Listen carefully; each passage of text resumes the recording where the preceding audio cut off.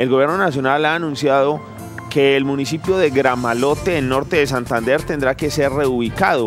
Y la Cruz Roja agrega que otros 15 municipios podrían estar en la misma situación, es decir, un hecho sin precedentes podría presentarse en el país, que 16 municipios, 16 cabeceras municipales tengan que ser trasladadas debido al invierno. En Gramalote, norte de Santander, se ordenó la evacuación de 6.000 familias, ya salieron a partir de las 12 de la noche la fuerza pública impide el ingreso de cualquier persona a esta localidad primero para evitar saqueos, pero además para evitar que en cualquier momento un nuevo fenómeno pues cause una tragedia mayor.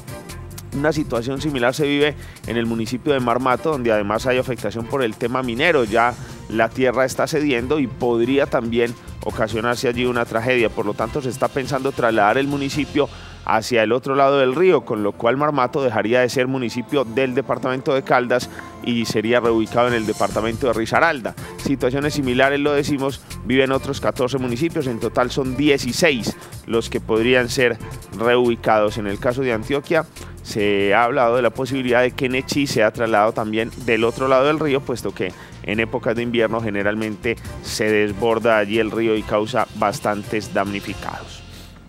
Por otra parte, digamos que 500 millones de pesos destinará a la gobernación de Antioquia de manera urgente para tratar de recuperar algunas vías del Urabá antioqueño, pues la malla vial allí está bastante afectada y ha impedido la movilización entre algunos municipios. Obviamente el arreglo de fondo, la recuperación de la infraestructura valdrá muchísimo más dinero y es un plan que tiene que trazarse a mediano plazo.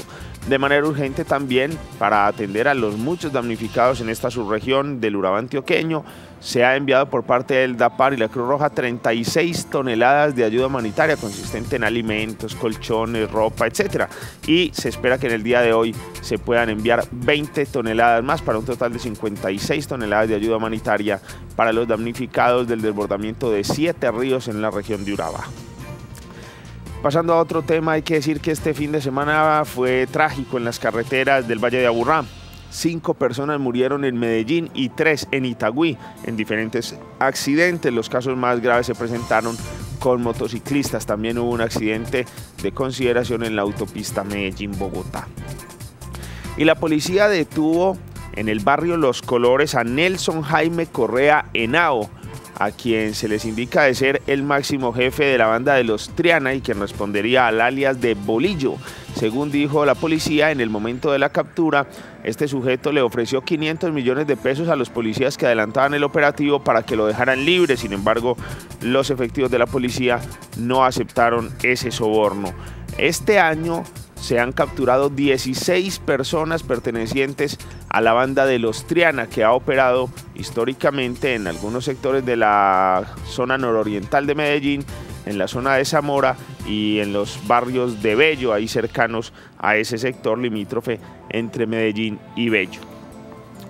Pasando a otro tema, digamos que en la madrugada podremos ver un eclipse total de luna, obviamente si la nubosidad de este invierno lo permite.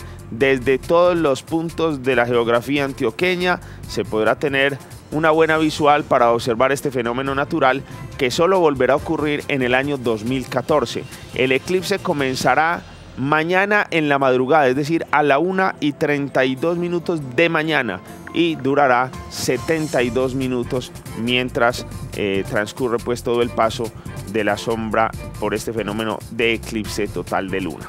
Y en los deportes, hoy Manizales amanece de fiesta. El Once Caldas derrotó 3 por 1 al Deportes Tolima y se coronó campeón del fútbol profesional colombiano. Tolima en Ibagué había ganado solamente 2 por 1 y pues la diferencia de gol favoreció al equipo blanco blanco. Es la cuarta corona que logra en el torneo profesional colombiano el Once Caldas que esta vez fue dirigido por Juan Carlos Osorio.